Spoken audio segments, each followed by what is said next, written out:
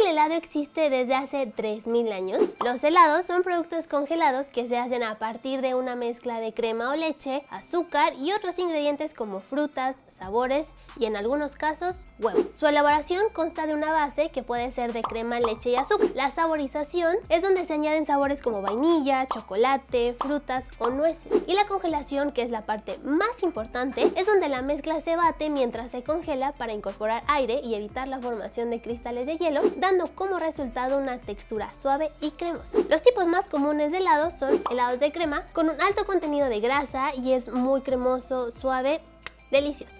Gelato, de origen italiano. Tiene menos aire y más densidad, además de que tiene un sabor mucho más intenso. El sorbet, hecho sin lácteos con base de agua y fruta, es ligero y refrescante. El helado suave tiene una textura mucho más ligera debido a la mayor cantidad de aire incorporado y pueden ser elaborados con yogur.